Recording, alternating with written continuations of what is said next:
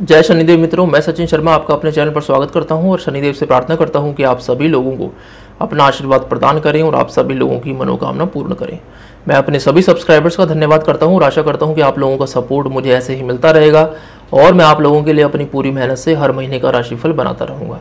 हम इस वीडियो में सिर्फ़ वृषभ लगन के जातकों के लिए जुलाई 2021 कैसा रहेगा, सिर्फ़ उस पर चर्चा करेंगे। देखिए, इस वीडियो के अलग अलग सेक्शन में हम चर्चा करेंगे आपके कैरियर संबंधित, जुलाई का महीना कैसा रहेगा, आपके फाइनेंस संबंधित, जुलाई का महीना कैसा रहेगा, आपके रोमांस संबंधित, जुलाई का महीना कैसा रहेगा, आपके फैमिली संबंधित, जुलाई का महीना कैसा रहेगा, आपके स्वास्थ्य संबंधित, जुलाई का महीना कैसा रहेगा, और अंत में हम चर्चा करेंगे उन महत्वपूर्ण उपायों की। जिन्हें जुलाई के महीने में करने से आपको लाभ प्राप्त होगा। तो यदि आपकी कुंडली के प्रथम भाव में दो नंबर लिखा है और उसके साथ उसी भाव में एल ए लिखा है, जैसा कि आप देख रहे हैं, और यदि आप अपनी कुंडली हिंदी में देख रहे हैं तो वहाँ प्रथम भाव में एल ए के स्थान पर हिंदी में ल लिखा होगा। तो यह मासिक राशिफल जुलाई 2021 आपके लिए है। बाकी सभी लग्न के लिए आप मेरे दूसरे वीडियो देख सकते हैं। देखिए, इस महीने में सूर्य देव का और मंगल देव का बहुत ही महत्वपूर्ण राशि परिवर्तन है और इन राशि परिवर्तन का आपके कैरियर पर, आपके पारिवारिक जीवन पर, आपके स्वास्थ्य पर, आपके फाइनेंसेस पर क्या प्रभाव पड़ सकता है? इन सभी विषयों पर भी डिटेल में हम इस वीडियो में चर्चा करेंगे। तो चलिए आगे बढ़ते हैं और सर्वप्रथम बात करते हैं कि जुलाई का महीना आपके कैरियर संबंधित कैसा रहेगा।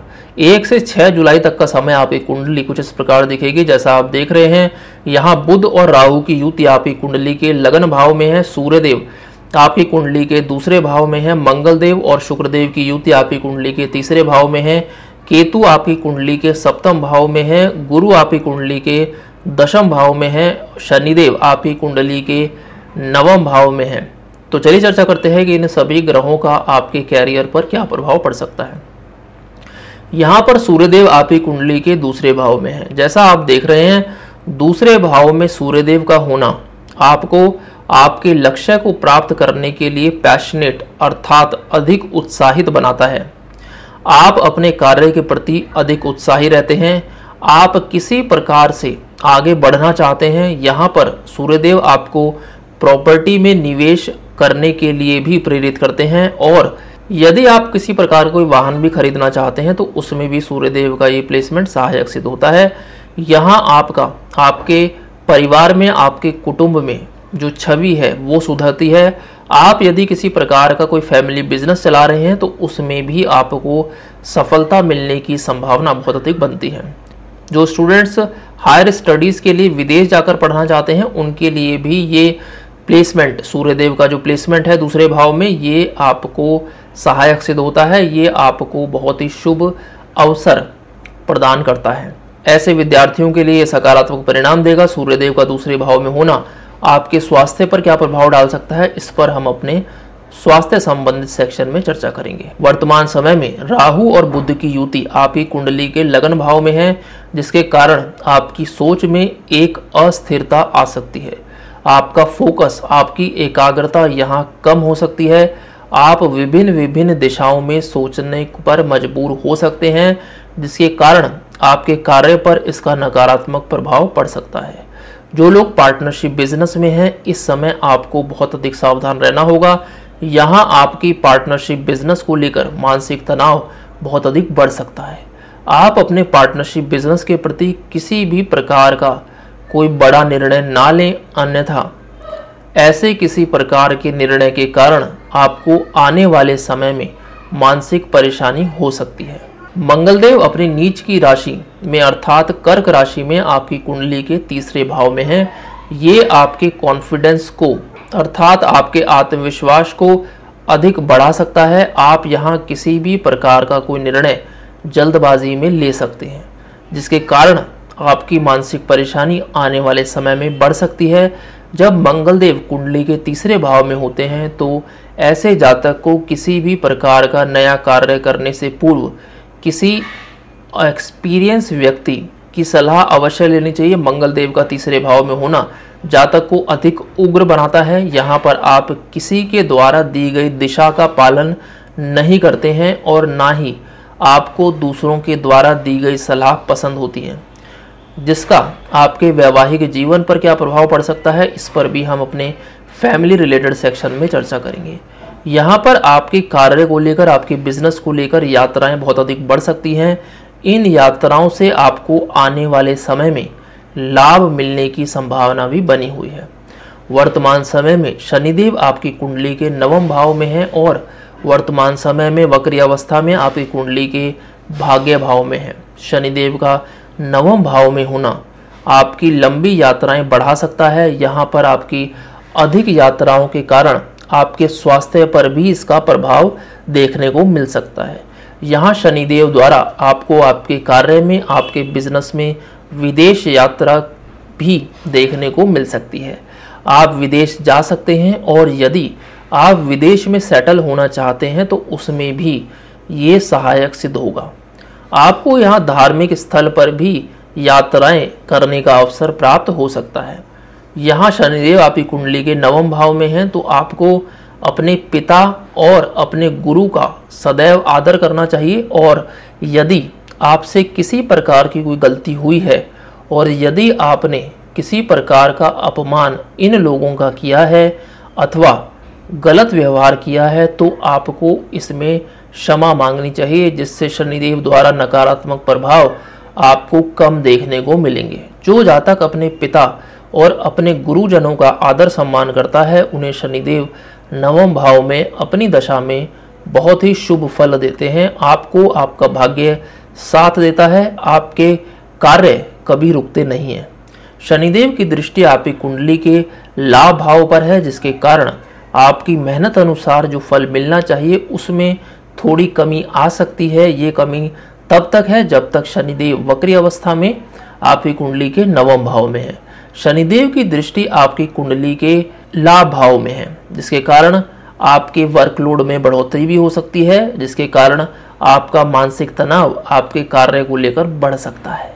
वर्तमान समय में गुरु आपकी कुंडली के दशम भाव में है। गुरु का दशम भाव में होना आपको आपके कैरियर में एक स्थिरता देता है।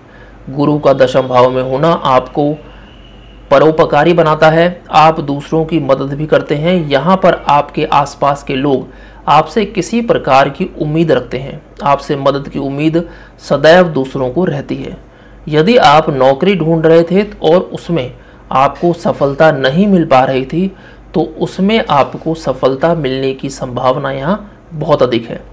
जिसके कारण आपके कार्य में, आपकी नौकरी में एक स्टेबिलिटी अर्थात स्थिरता भी आपको गुरु के इस प्लेसमेंट से आती दिखाई देगी। यहाँ पर गुरु के इस प्लेसमेंट से ऐसे जातकों को अधिक लाभ मिल सकता है जो लोग अपने जन्म स्थान पर ही कुछ कार्य कर रहे हैं अथवा यदि आप अपने जन्म स्थान पर ही अपना बिज़नेस कर रहे हैं तो उसमें आपको अधिक लाभ हो सकता है। 6 से 16 जुलाई तक का समय आपकी कुंडली कुछ इस प्रकार दिखेगी, जैसा आप देख रहे हैं, यहाँ बुद्ध देव का गोचर आपकी कुंडली के लगन भाव से आपकी कुंडली के दूसरे भाव में है, जिसके कारण आपकी सोच में एक स्थिरता आएगी। बुद्धदेव आपकी कुंडली के पंचमेश भी हैं, जिसके कारण यहाँ आपके परिवार में, आपके कुटुंब में प्रतिष्ठित छवि बनेगी। आपका यदि किसी प्रकार का कोई फैमिली बिज़नेस है तो उसमें आपको बहुत ही शुभ अवसर देखने को मिलेंगे। जो लोग वॉइस रिलेटेड कार्य से जुड़े हैं, जैसे जो लोग सेल्स एंड मार्केटिंग में हैं, उनको यहाँ सकारात्मक परिणाम देखने को मिल सकते हैं। इसका आपके स्वास्थ्य पर क्या प्रभाव पड़ सकता है, इस पर हम अपने स्वास्थ्य संबंधित सेक्शन में चर्चा करेंगे। 16 से 20 जुलाई तक का समय आपकी कुंडली को जिस प्रकार दिखेगी, जैसा आप देख रहे हैं यहाँ सूर्यदेव का गोचर आपकी कुंडली के दूसरे भाव से आपकी कुंडली के तीसरे भाव में है और शुक्रदेव का गोचर आपकी कुंडली के तीसरे भाव से आपकी कुंडली के चौथे भाव में है, जैसा आप देख पा रहे हैं। सूर्यदेव का दूसरे भाव में होना आपके लीडरशिप स्किल्स को बढ़ाता है। जिन जातकों की जन्म कुंडली में सूर्यदेव तीसरे स्थान पर होते हैं, तीसरे भाव में होते हैं, ऐसे जातक पॉलिटिक्स में, अर्थात राजनीति में अपना कैरियर बनाते हैं और उन्हें राजनीति में अच्छे अवसर भी प्राप्त होते हैं। ऐसे जातक पब्लिक डीलिंग अथवा पब्लिक सर्विस में भी बहुत ऊंचाइयों पर जाते हैं। यहाँ पर मंगलदेव और सूर्यदेव की युति आपकी कुंडली के तीसरे भाव में है। तो यहाँ आपको किसी भी प्रकार के लड़ाई झगड़े से थोड़ा दूर रहना है। यहाँ पर आपके कार्यस्थान पर वाद विवाद बहुत अधिक बढ़ सकता है। इस युति के कारण आपकी छवि आपके आसपास के लोगों में खराब भी हो सकती है। आपको लोग अड़ियल स्वभाव का व्यक्ति भी कह सकते हैं। सूर्यदेव का तीसरे भाव में होना आपको दूसरों के द्वारा दिए गए आइडिया को आसानी से स्वीकारने नहीं देता, अर्थात आपको अधिक एरोगेंट बनाता है। यहाँ पर आप अपने छोटे भाई बहनों की मदद के लिए सदैव तत्पर रहते हैं और आपके रिश्ते उनके साथ बहुत ही अच्छे रहते हैं। वर्तमान समय में शुक्रदेव आपकी कुंडली के तीसरे भाव से आपकी कुंडली के चौथे भाव में हैं। शुक्रदेव आपकी कुंडली के लग्नेश हैं और वर्तमान समय में चौथे भाव में हैं, जिसके कारण आपको प्रॉपर्टी से संबंधित किसी प्रकार का अकस्मात लाभ मिल सकता है। आपको आपकी नौकरी में, आपके बिज़नेस में भी बहुत ही शुभ अवसर देखने को मिलेंगे। इसका आपके पारिवारिक जीवन पर भी क्या प्रभाव पड़ सकता है, इस पर हम अपने फैमिली रिलेटेड सेक्शन में चर्चा करेंगे। 20 से 30 जुलाई तक का समय आपकी कुंडली कुछ इस प्रकार दिखेगी, जैसा आप देख रहे हैं, यहाँ पर मंगल देव का गोचर आपकी कुंडली के तीसरे भाव से आपकी कुंडली के चौथे भाव में है, जो इस महीने का सबसे महत्वपूर्ण राशि परिवर्तन है, क्योंकि मंगल देव का चौथे भाव में होना आपके कैरियर के लिए बहुत ही महत्वपूर्ण रहेगा। यहाँ से मंगल देव की दृष्टि आपकी कुंडली के दशम भाव पर होगी, जिसके कारण आपको अपने कार्य में एक सकारात्मक ऊर्जा का प्रवाह होता महसूस होगा। आप में यदि किसी प्रकार की कोई नकारात्मक ऊर्जा अपने कार्य को लेकर, अपने बिज़नेस को लेकर आ गई थी, वो यहाँ समाप्त होगी। मंगलदेव का चौथे भाव में होना आपके पारिवारिक जीवन पर क्या प्रभाव डालेगा, इस पर हम अपने फैमिली रिलेटेड सेक्शन में चर्चा करेंगे। आप यदि खेलकूद के कार्य से जुड़े हैं, आप यदि आर्म फोर्सेज में हैं, आप यदि सेल्स एंड मार्केटिंग जैसे कार्य में हैं तो ऐसे कार्यों में आपको बहुत अधिक सकारात्मक परिणाम देखने को मिलेंगे। ये समय उन विद्यार्थियों के लिए भी बहुत ही शुभ समय रहेगा, जो लोग सरकारी नौकरी के लिए तैयारी कर रहे हैं, सरकारी नौकरी के लिए प्रयत्न कर रहे हैं। तो ये था आपकी कैरियर संबंधित जुलाई का महीना कैसा रहेगा। तो चलिए आगे बढ़ते हैं, बात करते हैं आपके स्वास्थ्य संबंधित जुलाई का महीना कैसा रहेगा। चौदह जुलाई तक का समय, आपको आपके स्वास्थ्य को लेकर थोड़ा सावधान रहना होगा। यहाँ सूर्यदेव आपकी कुंडली के दूसरे भाव में है। यदि आपको ब्रेन से संबंधित अर्थात आपके मस्तिष्क से संबंधित किसी प्रकार की कोई समस्या है, जैसे माइग्रेन डिप्रेशन तो वो आपको यहाँ अधिक परेशानी में डाल सकती है। तीन से पाँच जुलाई और 21 से 23 जुलाई तक का समय आपको बहुत अधिक सावधान रहना होगा। यहाँ आपको नींद आने में समस्या हो सकती है, यहाँ आपको बेचैनी बहुत अधिक महसूस हो सकती है, जिसके कारण आपका मानसिक तनाव बहुत अधिक बढ़ सकता है। आप मेडिटेशन अवश्य करें, आपको लाभ मिलेगा। तो ये था आपके स्वास्थ्य संबंधित जुलाई का महीना कैसा रहेगा। तो चलिए आगे बढ़ते हैं, बात करते हैं आपके फाइनेंस और वित्त संबंधित जुलाई का महीना कैसा रहेगा। आपको 16 से 24 जुलाई तक का समय आपके फाइनेंसिस में, आपके वित्त में अकस्मात लाभ मिलने की संभावना बनी हुई है।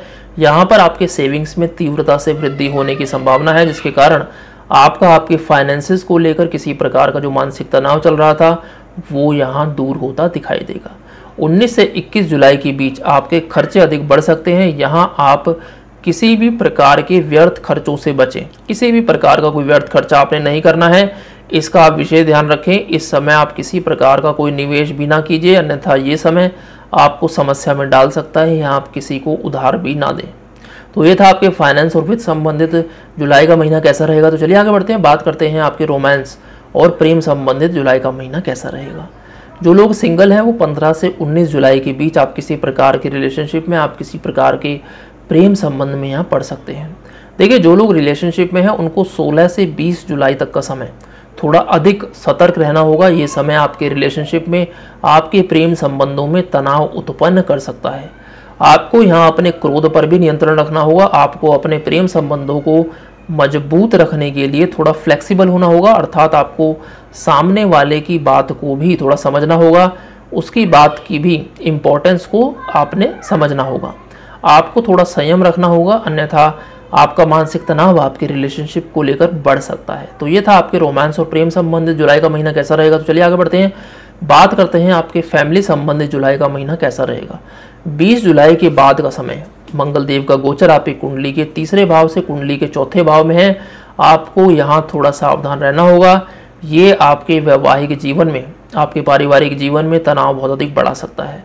आपको थोड़ा फ्लेक्सिबल रहना होगा। आपकी प्रवृत्ति यदि छोटी छोटी बातों को लेकर तनाव बढ़ाने की है तो इस समय आपको थोड़ा संयम रखना होगा। आप यदि इमोशनल हैं तो आपको अपने इमोशंस पर काबू रखना होगा। अन्यथा ये समय आपका मानसिक तनाव बहुत अधिक बढ़ा सकता है। आपको क्या उपाय करने हैं, मैंने उपाय सेक्शन में बताए हैं। आप वो अवश्य करें, आपको लाभ मिलेगा। यहाँ पर आपका, आपकी माता को लेकर भी तनाव बढ़ने की संभावना बनी हुई है। तो ये था आपके परिवार संबंधी जुलाई का महीना कैसा रहेगा। तो चलिए आगे बढ़ते हैं, बात करते हैं उन महत्वपूर्ण उपायों की, जिन्हें जुलाई के महीने में करने से आपको लाभ प्राप्त होगा। आप 21 जुलाई को शाम सात बजकर पच्चीस मिनट के बाद एक नारियल और एक नीले रंग का फूल बहते जल में प्रवाहित करें। देखिए, वर्तमान गोचर में राहु आपकी लगन भाव में है तो आपको राहु के बीज मंत्र का जाप रोज सूर्यास्त के बाद एक बार करना है, जो है, ओम ब्राह्मरीम रोम से रावे नमः। आप 28 जुलाई को प्रातः पाँच बजकर पचास मिनट से शाम छः बजकर पचपन मिनट के बीच एक लाल रंग का कपड़ा, जो कि दो मीटर होगा, ग्यारह हनुमान चालीसा और लाल मसूर की दाल का दान किसी हनुमान जी के मंदिर में अवश्य करें। देखिए, इस तिथि का और इस समय का विशेष ध्यान रखिए, ये आपके लिए अत्यंत लाभकारी रहेगा। आप रोज सूर्यास्त के बाद कुत्तों को अथवा मछलियों को भोजन अवश्य करवाएँ। जिन जातकों का विवाह नहीं हो पा रहा है, उनको 7 जुलाई और 21 जुलाई को प्रदोष व्रत करना है। इस दिन आप सूर्योदय होने से पूर्व उठें, स्नान करें, शिव मंदिर जाएँ, वहाँ बैठकर आपने एक सौ आठ बार ओम नमः शिवाय मंत्र का जाप आपने करना है। इस दिन आप शिव चालीसा पढ़ें छोटी कन्याओं को भोजन खिलाएँ, इससे आपकी मनोकामना पूर्ण होगी, विवाद में जो भी अड़चने आप फेस कर रहे हैं, वो आपकी दूर होती दिखाई देंगी। तो ये थे वो महत्वपूर्ण उपाय जिन्हें जुलाई के महीने में करने से आपको लाभ प्राप्त होगा। तो ये था वृषभ लगन के जातकों के लिए। जुलाई 2021 कैसा रहेगा, शनिदेव आप सभी लोगों पर अपना आशीर्वाद बनाकर रखें। धन्यवाद।